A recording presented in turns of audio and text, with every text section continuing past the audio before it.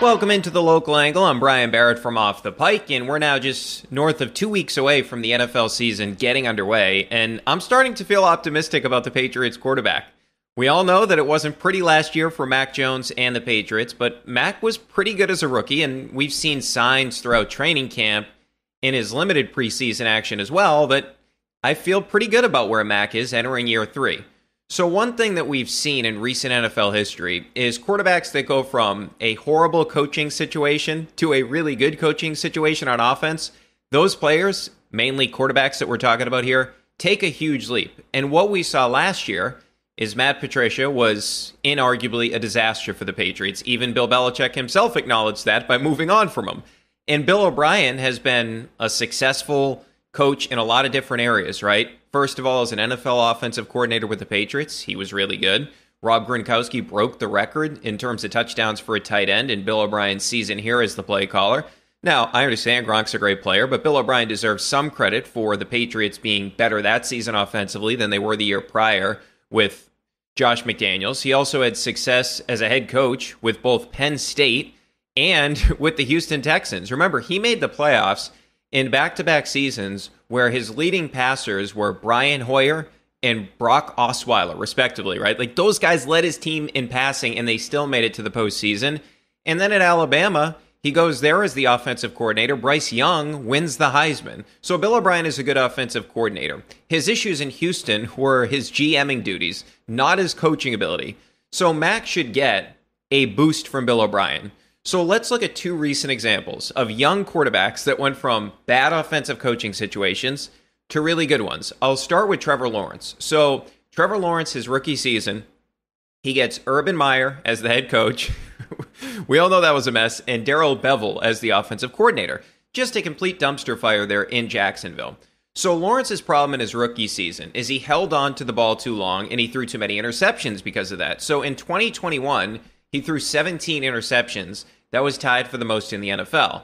In 2022, that was down to eight interceptions. His completion percentage, 59.6%, was 33rd of 39 qualifiers in 2021. In 2022, that jumped to 66.3%.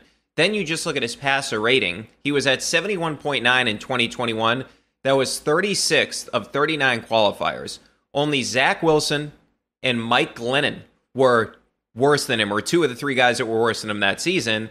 And then in 2022, that passer rating's at 95.2, which was the 10th best in the entire NFL. So he went from 36 in passer rating all the way up to 10th with the coaching change. So Urban Meyer just getting out of the building was huge. But how did Doug Pederson, a good offensive coach, like Bill O'Brien is a good offensive coach, how did he get the best out of his quarterback? How did Trevor Lawrence go from turnover prone to one of the best quarterbacks in the NFL? He made the Pro Bowl last year. He had a really good season, and I like his odds at MVP. But if you look at 2022, he was at 2.52 seconds in terms of his time to throw. That was the fifth quickest in the NFL. You go to 2021, he was at 2.85. So that was 28th. So that's a huge gap in terms of 23 spots. He was holding on to the ball in 2021. In 2022, he was getting rid of the ball quickly because they schemed it up for the quarterback.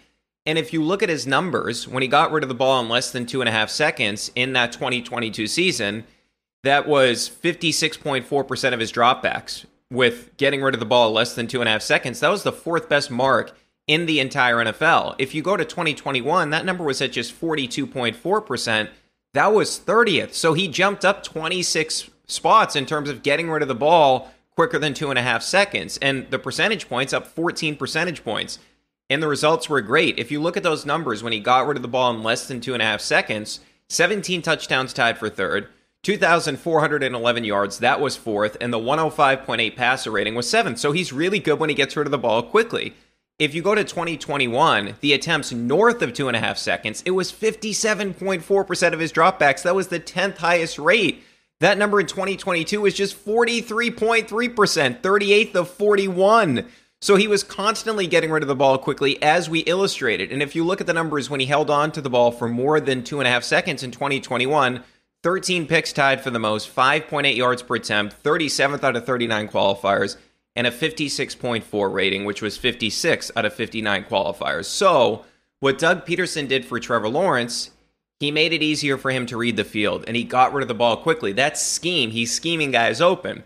So that's example one. Example two of this is Tua. Tua went from basically a co offensive coordinator situation with Eric Studesville and George, George Godsey as the co-offensive coordinators in Miami to Mike McDaniel calling games, where Mike McDaniel had a really good season. So it was kind of a weird situation because he had two guys there. Studesville's still there on the coaching staff, and Godsey's now coaching tight ends with Baltimore.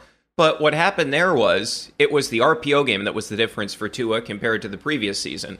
So we've hit this before in terms of my pod about what made Tua successful. If you look at Tua last se- season, eight, 847 passing yards out of RPOs that was the most in the league, and he only played in 13 games. So if you go back to 2020, that number was at 195, which was 17th, and he did that in 10 games. But if you think about it, 65.2 of his yards came via RPOs, and he averaged 272.9 yards per game. So that was 23.9% of his passing yardage. Nearly a quarter of his passing yardage came via RPOs. If you go to that number in 2020, it's 19.5 yards per game. He averaged 204.1 so if you look at it from that perspective, it's just 9.6 in terms of the percentage of his passing yards that came via RPOs. So we're talking about a climb of 14.3 percentage points. Just massive, right?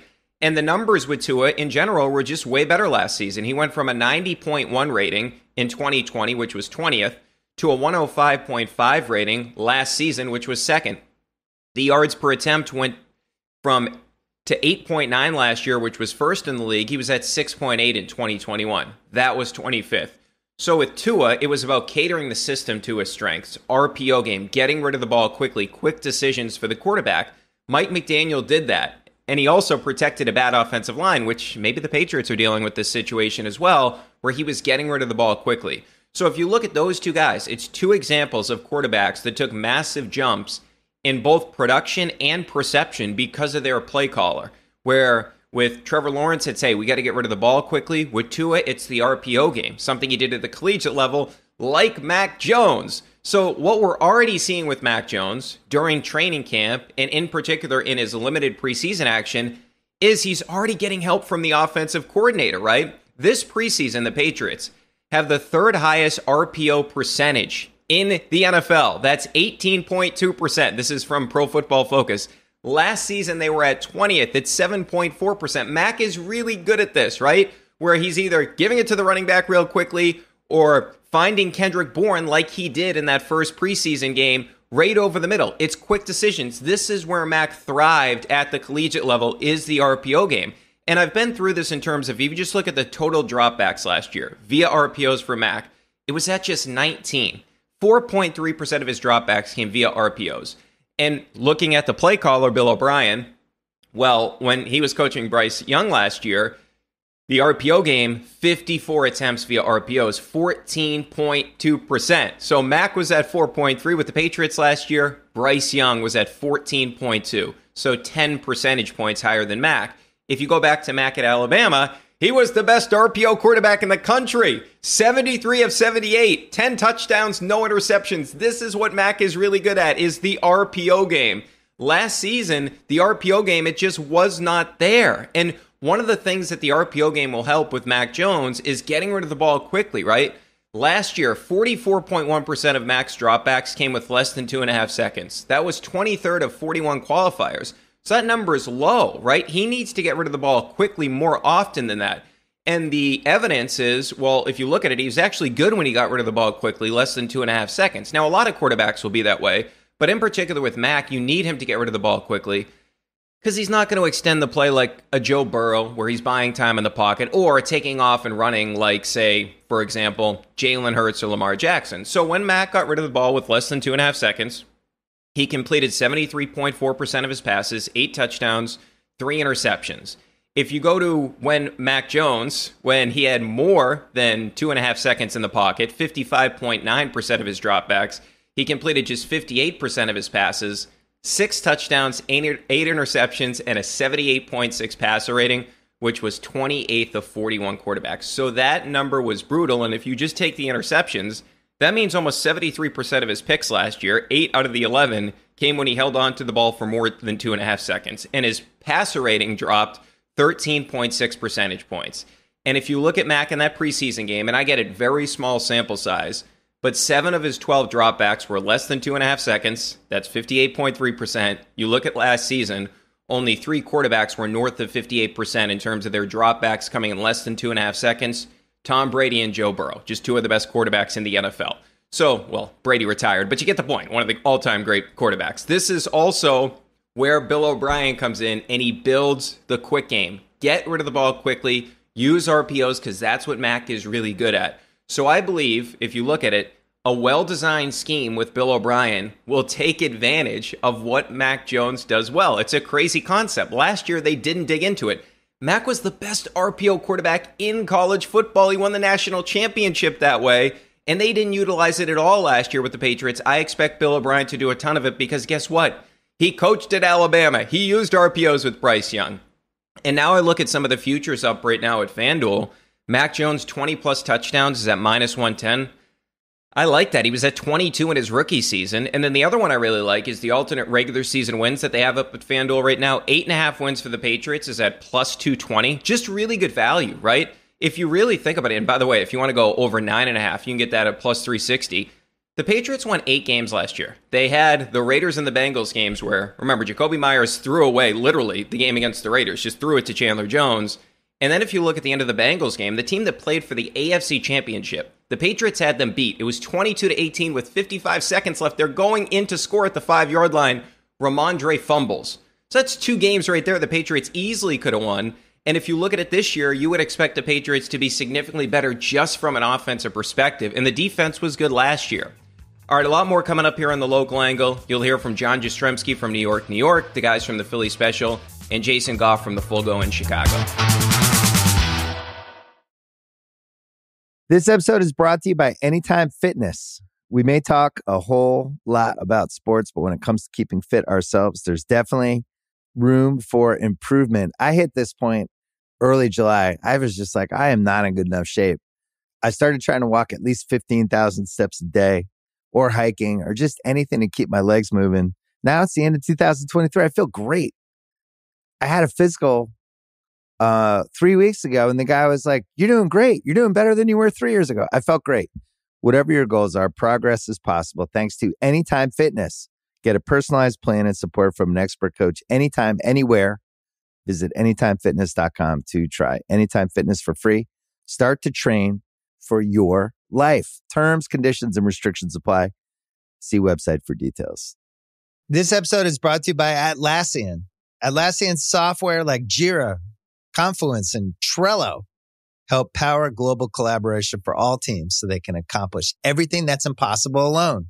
Because individually we're great, but together we're so much better. Learn how to unleash the potential of your team at Atlassian.com. A T L A S S I A N.com. Atlassian. Tap the banner or visit this episode's page to learn more.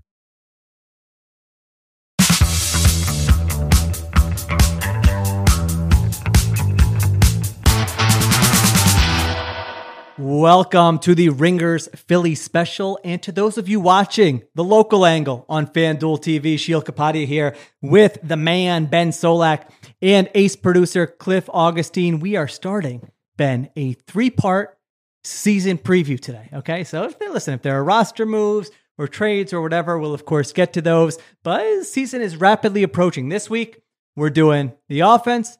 Next week, we're doing the defense. And the following week, we go on the record with our predictions for the 2023 NFL season. How does that sound, my friend? Uh, yeah. I like I said before, I'm very ready for projections. I'm at all times ready to make predictions. You're the one we've been waiting on.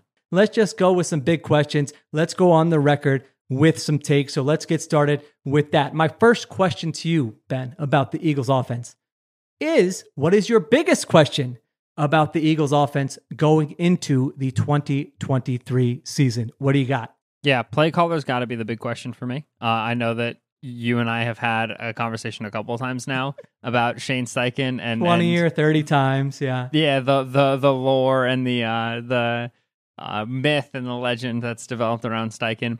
But in general, I feel like just so often last year we would come on a post game pod and we would say, "Wow, just like really well called well called game." It was very rare that we highlighted a third and six. What was this play called? It made no sense. Uh, fourth and two. Why did they do this this way? You know, we'd always come on and be like, "Oh, the freaking Goedert screen worked again." You know what I'm saying? Like, what's what a surprise! Like, oh, just the, the pockets were so nice. The play action, they got him out of the pocket. They ran the ball well. They ran the ball this way. Like, it was just it was so rare that we would find a week where it felt like the play calling was an issue or was something to to highlight as a weakness for this team.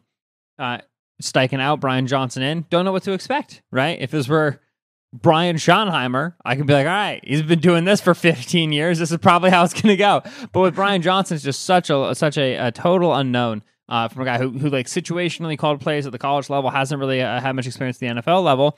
That even if Johnson's like a fine play caller, I think he'll be a step below Steichen, who I thought was a really impressive play caller. Uh, and then there's also the possibility that you know for the first year of Johnson, there's just bumps. There's there's issues. The first couple games, they're getting play calls in late, and they're getting procedural penalties, and then they, they have a great stretch of offense, and then a defense comes with a counterpunch they weren't expecting, and they just can't adjust fast enough, right? Like there, there's just, there's a lot of ways that the play calling affects the Eagles in, in, in, like little degrees that like can stack up and, and equal like a loss, you know, here or a, just a, a little wind out of the offensive sails there. So play calling got to be my biggest question.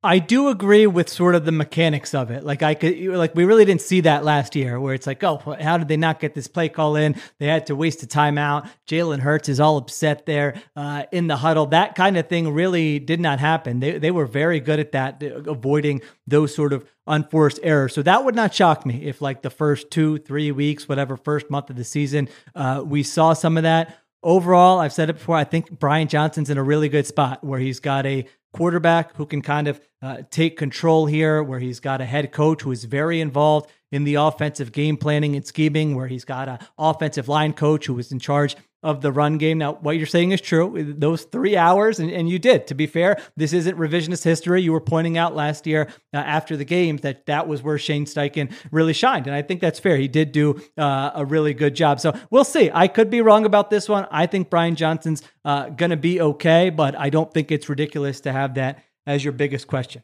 My biggest question is how much more can Jalen Hurts improve? This is like a question mm-hmm. I feel like you and I, it's one of our first podcasts. I, I, remember, I don't know if it was Philly Special or Ringer NFL show, where we both kind of agreed like it's people overrate how much a player in the NFL can actually improve. Like it doesn't happen that often where they go from one thing to a totally different thing in a span of one, two, three years. And Jalen Hurts has just flat out been the exception. I mean, he's 25 years old. We've seen huge improvements every year he's been in the NFL. And I don't think that we've seen his ceiling yet. Like, I don't think this is going to be something where we say, wow, 2022 was an outlier season. Everything went right. They got to the Super Bowl. And for the next five years, you're kind of chasing that and he can't quite get there. I think there's still plenty of room for Jalen Hurts uh, to improve. If you just look at it statistically, you know, last year they were, uh, let me see, he was ninth in EPA per pass play and 18th in dropback success rate. I, I think those numbers would probably surprise people. Now, some of that was a lot of these games were blowouts in the fourth quarter, and your numbers get dinged a little bit uh, there for sure. But it's not like this was just consistently every game, every week, the passing game was clicking. Now, that doesn't take into account the run game, which really was like, you know, will, might go down as one of the best, uh, if not the best in franchise history. So uh, I'm probably clouded by you know attending whatever it was four or five practices this summer and just watching right. Hurts and being like, man, he's not missing a lot of throws. He's accurate. He's throwing on the move. He's trying throws where I thought in the past, you know what, he might not even try that degree of difficulty. And so uh, I think the O line's going to be fine. I think the weapons are really good. I think Brian Johnson's going to be fine. I'm curious to see like what version of Hurts do we get? Are we saying He's maintained his level of play from, from last year. He's taken a step back, or is he getting better? So that's my biggest question, and that, and that leads to my next question uh, for you, Ben, because I, I, really actually, actually we, we've talked so much about the, uh, as I say, minutiae. Other people call it minutia.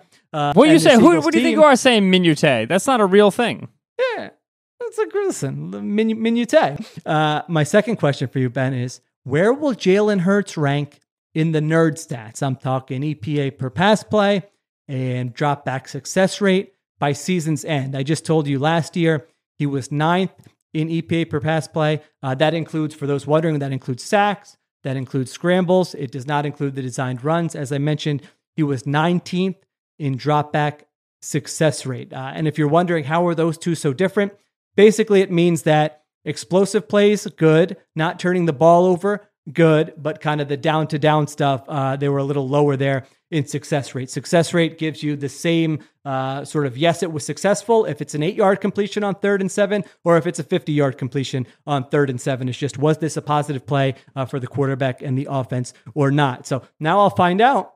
Where do you think Jalen Hurts ends up compared to last year in those statistical categories? Uh, 12th and 12th. Uh, 12th and Okay. 15th. Get about Okay. like EPA a little bit worse, success rate a little bit better. And I think that's because the Eagles offense is probably going to get the same treatment that most really, really good offenses get in the NFL nowadays, which is that teams are just going to start playing them a little bit deeper, right? You're just going to, instead of lining the safeties up at 15, you're going to line them up at 17, and you're going to tell the corners to play a little bit further off in zone, and you're going to make Hurts and, and AJ Brown and DeVonta Smith throw more comebacks and curls instead of goes and posts, right? And you're gonna you're gonna even try with to that run game, they're gonna be willing to play those safeties that deep. Well, so right, so I didn't say like, oh, they're going to play more two high and less single high. I just said they're going to push everybody back a little bit, right? And so I Okay. like uh, that thing is like I definitely don't think you can lighten the box, right? I think that's that that that's never going to work for you. So I think just when you when you line up and when you and, and when you think pass, right, when you're in third and seven or second and ten or whatever, um, you're just going to try to play things a little bit more passively. Like uh, the Eagles tend not to put a ton of guys into the concept, right? They don't really put five guys out in the concept a lot. And so they don't stress your zone coverage the way that like a like a Andy Reid Patrick Mahomes team is, where it's like let's throw so many bodies out there and like have a ton of geometry and you have to have your eyes everywhere and so on and so forth. Just put like three into the concept, four into the concept. They'll keep it at half field reads and stuff like that. So if you really want to make a conscious choice of like we're going to take away the deep routes, take away the intermediate routes, make Hurts like check it down to the running back, check it down to the tight ends, you can do that to, with some success. And, and and and you saw teams try to do that this year, right? Like the Colts did a lot of that when they played when they played Indy. Um, and so I think that that'll take maybe some of the deep passing plays out of it. But Hurts is also a very mature passer who's going to be willing to keep the offense on schedule. Um, like when I saw those numbers, I was way more surprised by 19th in dropback success rate than I was in 9th in EPA per play. To me, that was like, oh, I would have imagined they were more successful on a down to down basis than that. Um, and Me so too. eliminate a couple, yeah, eliminate some sacks. That way you can stay ahead of the sticks and uh, be willing to check the football down and take the underneath stuff. I wouldn't be surprised if their offense is a little bit more efficient, but a little bit less explosive. That tends to be what happens to these top offenses. Like Kevin Clark for us at the Ringer just wrote a great piece for the Bengals offense and how it be, to become less explosive and more efficient because that's how defenses were playing them. Wouldn't be surprised to see the same thing happen to the Eagles.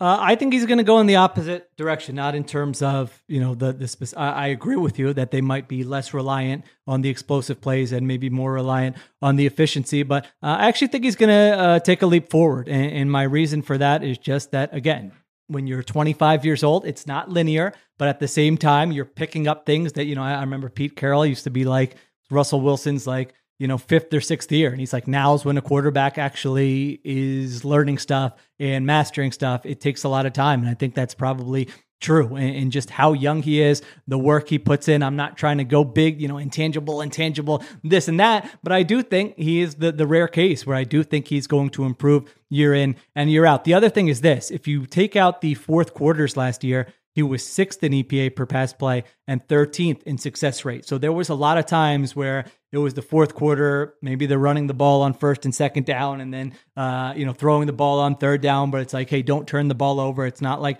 they have to make something happen. I think they're going to be in a lot more close games this year. I think they're going to be trailing in the fourth quarter more uh, this year, and so uh, I think you could see a little bump there where it looks a little bit more like it did in the first three quarters. So I think he makes a leap. I think he's going to finish top five in EPA per pass play this year. I've got him fifth in EPA per pass Ooh-wee. play, 10th in success rate. Uh, I just feel like he's got the pieces around him to make another leap forward. Again, maybe I'm clouded by what my eyes have seen uh, on the practice fields at the NovaCare complex. And, you know, these things, again, sometimes you, you're good and then you regress a little bit or the luck doesn't go in your favor. Uh, I just look at the way he was good at avoiding turnovers, and, and that's even not getting lucky, but with the turnover worthy plays like Pro Football Focus uh, ranks, he was high uh, up there. And so I think he's good at that. And I think he can be a little bit more efficient on a down to down basis. All right, let's take a little quick break. We will come back with more. Thanks to everyone who is watching on FanDuel TV. Remember, you can listen to the Philly special on Spotify or wherever you get your podcast. To those of you listening, we will be right back.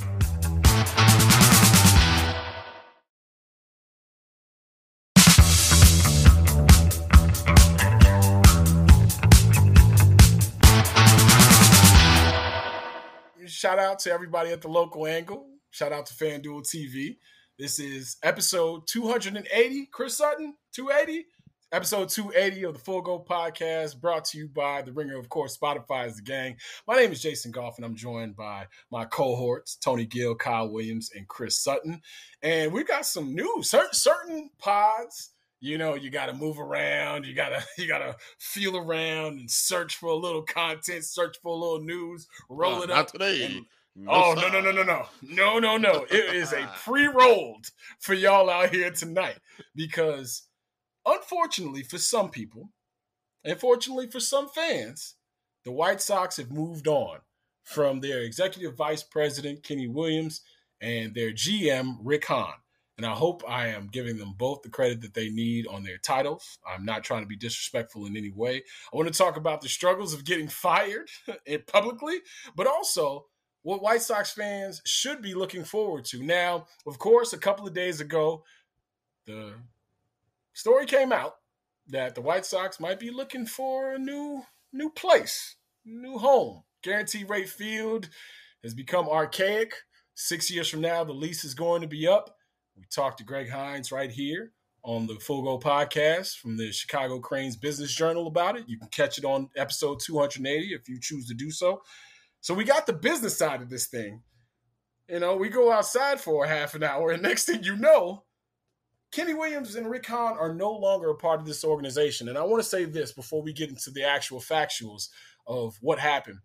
Kenny Williams, for him being one of the few black general managers in baseball, right? And I'm talking about history. There's been a handful of them in history. For him to win the World Series that he won in 2005 with Ozzie Guillen and Don Cooper and a slew of players that were thrown together that came together to make a magical season for all the Chicago and all the Chicago White Sox fans. We will never forget that. Ever, ever, ever. But there was a time where Kenny Williams was being looked at like the boogeyman. He was making decisions that weren't leading to results. And Rick Hahn, who worked under him, got the GM position. Kenny got bumped up, and people thought maybe, just maybe, Kenny was still doing the puppet strings and making things move behind the scenes. A few years pass, and then Rick Hahn gets the full power and impact that a GM should have. And we have what we have right here. You want to know where it changed for me, White Sox fans? Because I'll never forget it. Doing a remote for the local Chicago sports radio station at the Under Armour store of all places when it first opened up. And the Todd Frazier deal was announced. And we had Rick Hahn on. And I asked him about the state of the team, the future of the team, and what this deal truly means. And he took umbrage. You know, he took umbrage because the question at that point seemed like a loaded question, and it seemed like I was shading Todd Frazier. But I, as a White Sox fan, was looking forward to the next time this team would compete. Lo and behold, six, seven, eight, nine, ten years later, we sit where we sit in 2023, where we've had two of the most disappointing seasons in Chicago sports history. It's not just White Sox history. And if you've been listening to this pod, you understand how crestfallen we as White Sox fans have been and will continue to be because this firing only means that you've cleared out people who are making decisions that yielded the results. It doesn't show that you can hire people that will make better results. And I'm looking forward to seeing what Jerry Reinsdorf and the crew do in terms of hiring practices because we've always heard and talked about how Jerry Reinsdorf treats his teams like a family. We saw it with Jerry Krause. We saw it with John Paxson. We've seen it with Kenny Williams. We've seen it with Rick Hahn. And of course, championships have been yielded with those relationships, but also you kind of scratch your head sometimes with some of the moves that are made and thinking, would this happen in any other city?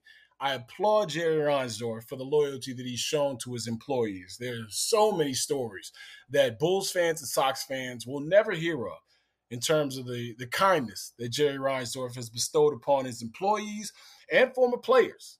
Jerry Reinsdorf has made sure guys have been dug out of bankruptcy.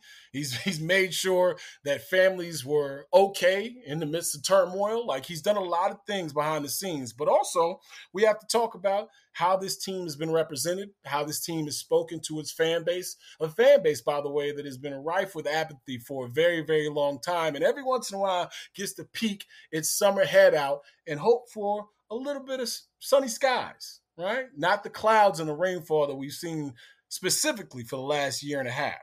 So when I heard the news, because our guy Tony Gill texted to us during the group chat, I was on the way out to go see the Power Book 4 Force premiere. Joseph Sikora is also on episode 280 of the Full Go podcast. Shout out to Tommy from Power.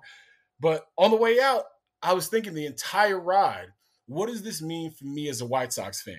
And I also want to put it in context what this means professionally for these two men you know, Rick Hahn and Kenny Williams should be given their flowers.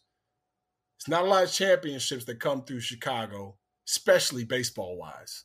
We've had two in the last, what, 110, 112, 113 years, 2016, and of course, with the White Sox. So I'm grateful as a Chicago White Sox fan for Kenny Williams and Rick Hahn but I also understand in this business and the industry that we talk about, in the industry that we're in, as well as podcasters and sports observers, that if the results aren't there, maybe time to move on.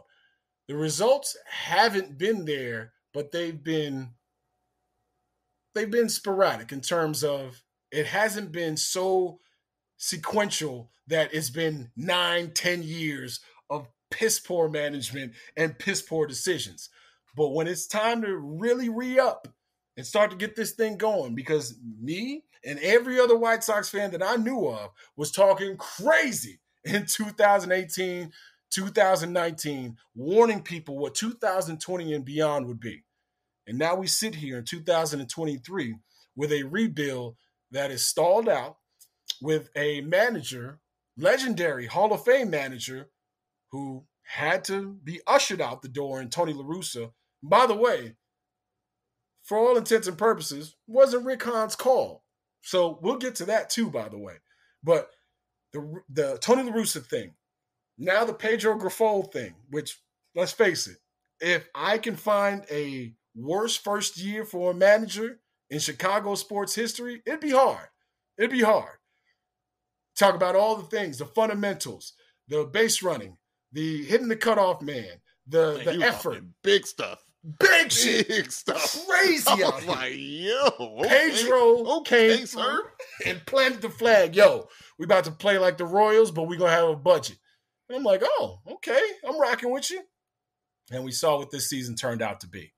From the very start, Mike Clevinger and his issues, then it transformed to injuries. Yoán Moncada. Everybody thought, hey, why is Yoán Moncada being forced to play with a back injury?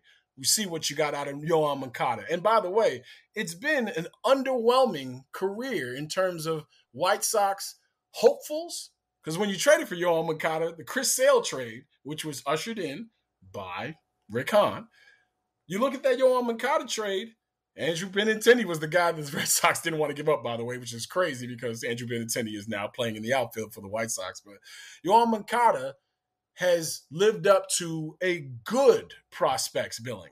Yoán Moncada was a top tier prospect. You don't trade an ace like figure for Chris Sale for a guy like Yoán Moncada if you're not expecting him to blow up. So the way that he's been handled and the way that he's performed has been above average at best. And I think he has all the talent in the world. I think when he's right, he's probably one of the two or three best players on this team. So the, the, the reports that came out that he was forced to play with an injury or you didn't take care of him and that sidelined him even more, it just speaks to uh, the lack of foresight that this organization has kind of been run with.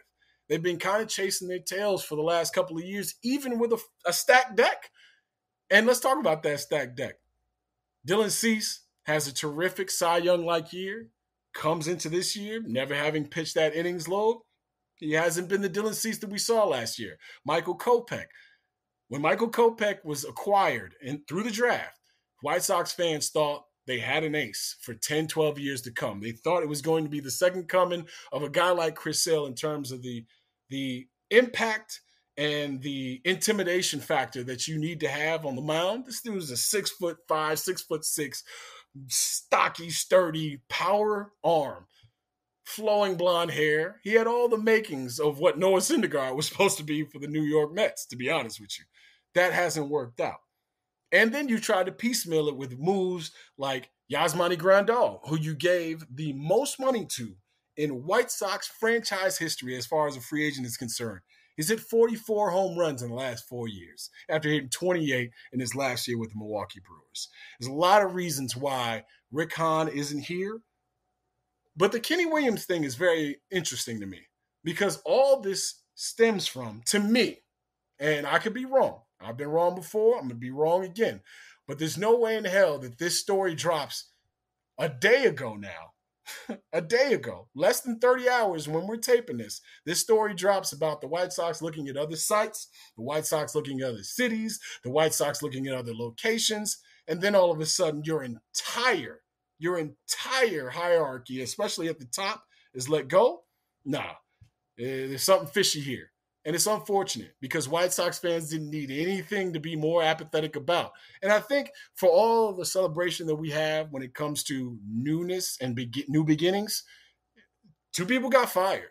And it's never fun to get fired in public. This is a part of the business. I'm sure Rick Hahn will catch on elsewhere. We'll see what Kenny Williams' thoughts are in terms of continuing to do this or being in the baseball business. He's gotten to the point now where he's made a lot of money and maybe he just wants to settle down with his his family again and call it a life. I'm not mad at it. I'm not mad at it. You have to move on in sports. We see people get fired all the time. This was a surprise. But for me, the Todd Frazier trade years ago was like, oh, okay, I see where we're on. And shout out to Todd Frazier. Shout out to Rick Hahn. Shout out to anybody who got fired today. I never like to see anybody get fired. This is the business that we are in. I can appreciate it. And we're going to talk further about this because I got some other things to say that aren't local angle suitable, by the way. All right. So shout out to the local angle. Shout out to FanDuel TV. You can catch us Sundays, Tuesdays, Thursdays, or an emergency pod when someone gets fired right here on the Full Go podcast.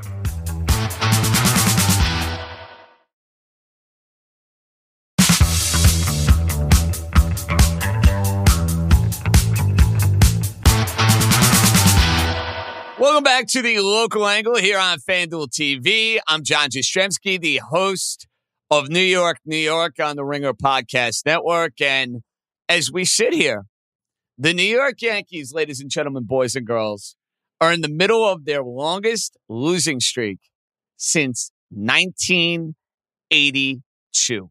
The Yankees have lost nine consecutive games. And, you know, in case you were wondering about what was going on in the world the last time the Yankees lost nine games in a row. Ronald Reagan was president of the United States. Uh, an album by the name of Thriller was number one on the charts, rocking and rolling every which way. Olivia Newton John's Physical was the number one song in America. And Clyde King, yeah, Clyde King was the manager of the New York Yankees. So Think about the world in 1982. Think about where we're at in 2023 and acknowledge and realize that this is the first time since then that the Yankees have gone and lost nine games in a row and they're double digit games out of the wild card race. Their season, and we've talked about this now over the last couple weeks. It's over. It's done so. There's no salvaging it. There's no getting around it.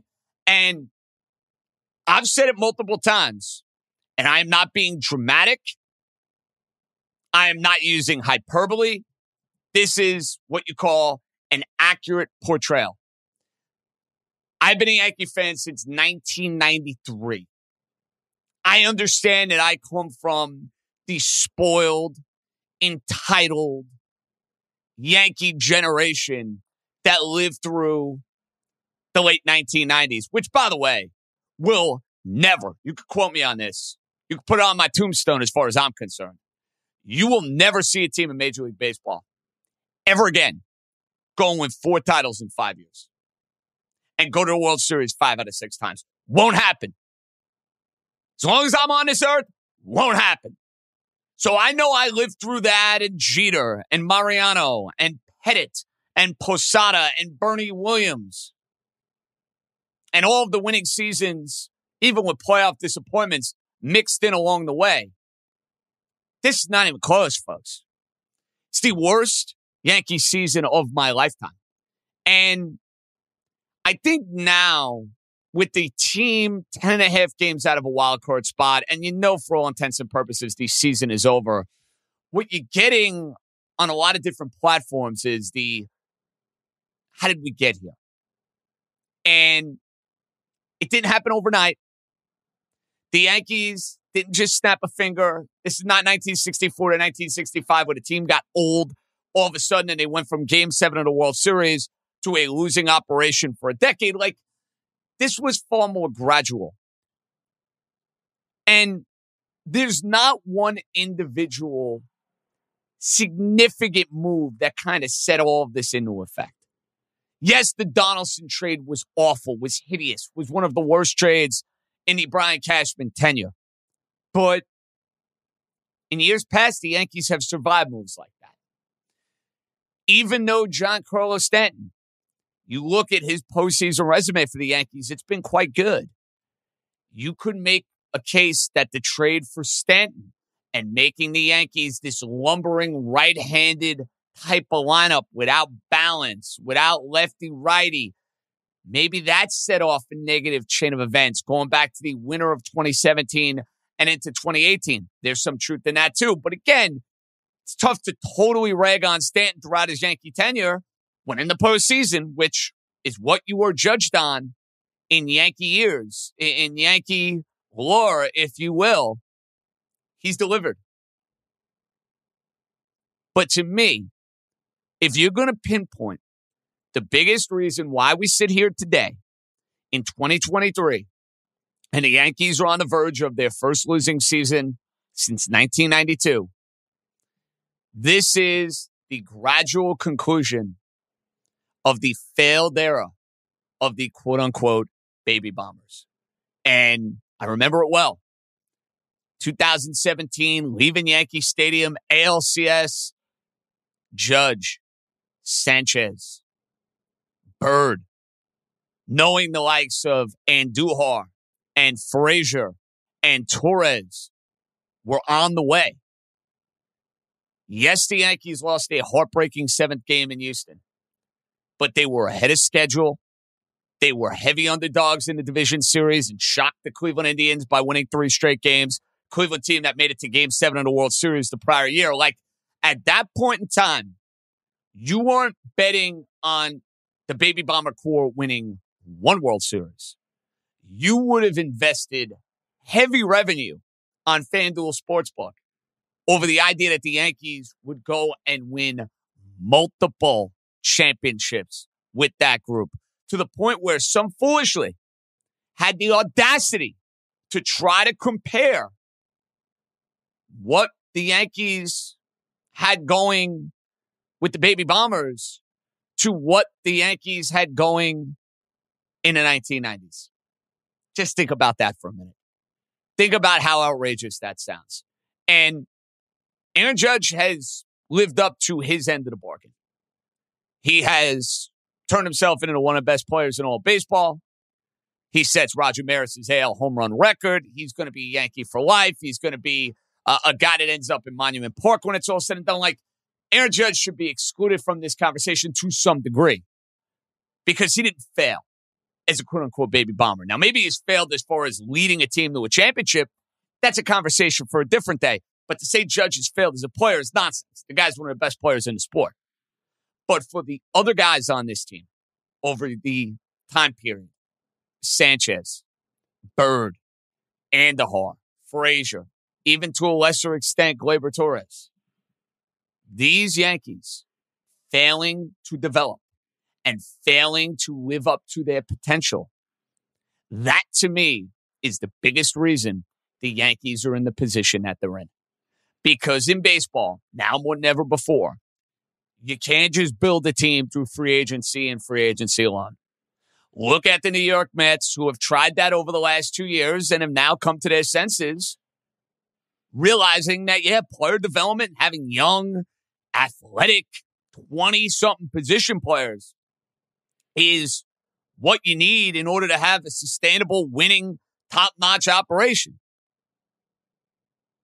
The Yankees thought they had that going. They failed miserably. And when you look at why they're in the position that they're in right now, which is then buried and with serious questions about the future and what's next and what is this team and what is this organization going to look like. many ways, you pinpoint what you saw from 2017 on, a lack of player development, and that's where you're at. Now, on a much happier note, you will have the Jet Giant preseason finale Saturday night. And this game on Saturday night has become far more intriguing and far more compelling because of the news that broke on Sunday and Monday. And that is that Aaron Rodgers, for the first time, will be suiting up and that Aaron Rodgers will be playing at least one or two series in the Jet Giant game at MetLife Stadium. And before you were going to be the person to say, "Oh, how dare Aaron Rodgers playing this game? What are the Jets doing? What are they? What are they risking him in a preseason game for?" You think the Jets made this decision without the consent and without the blessing of number twelve or now number eight? Come on now, Aaron Rodgers. Whether the Jets want to say it or not, probably made it clear. Hey, guess what? Before I go out there week one, Monday Night Football, September the 11th against the Buffalo Bills, I want to put this uniform on. I want to have a series or two in this building. I want to maybe work out some jitters, work out some kinks, maybe take a hit, and be ready to go. There's always a risk in playing anyone in a preseason game. But if the player tells you this is what I want to do when he's a four time MVP and when he's a future Hall of Famer. Hey, guess what? You are going to listen to the individual player. So it's a far more compelling watch for me, that's for sure. I don't think we're going to take much stock one way or another in what we see from Aaron Rodgers' performance, but it'll be out there. And it's a little appetizer. It's a shrimp cocktail before you have the filet mignon medium rare of seeing Aaron Rodgers in that jet uniform. And if it hasn't clicked in already, and I don't know how it hasn't between Hard Knocks and watching every uh, film clip imaginable from Aaron Rodgers in training camp and practice sessions, what have you, it's going to feel real, real when you see Aaron Rodgers taking on the New York Giants. Now, the Giants, they've kind of flown under the radar a little bit over these last couple weeks. The Jets have Aaron Rodgers. The Jets are on Hard Knocks. The Jets are getting a lot of New York City's attention. I know a lot of the Sharps are believers in the idea that the Giants are a team poised for regression. Second year coach, got the first year coach bump, soft schedule, much tougher schedule. I got news for you. I don't buy it. The reason I don't buy it is because the Giants are far better. They're far more talented. Look at their offense. They didn't have Darren Waller a year ago. They didn't have Jalin Hyatt a year ago. They didn't have Parris Campbell a year ago. You make the argument those are their three best playmakers outside of Saquon Barkley going into the year. I think this quarterback is going to take a step forward. I think this pass rush, which missed way too much time with injuries last year, is going to take a major step forward. And the Giants, unlike the Jets, find themselves in the right conference. They do. There's more room for mobility and upward trajectory in the wide open NFC than there is in this loaded, top to bottom AFC. Division might be tough. Giants got to show you they could beat either Philly or Dallas. But the idea of buying regression, and we'll spend a lot more time on this over the next few weeks with the Giants. Ben against Brian Daboll, I would not advise it. Just a little food for thought. We'll be back next week as we set the stage for Labor Day weekend and football season starting for real. Who's going to win more games, the Jets or the Giants? We'll have you on that next week. We out. This is New York, New York, presented by our friends over at FanDuel Sportsbook. The local angles coming right back.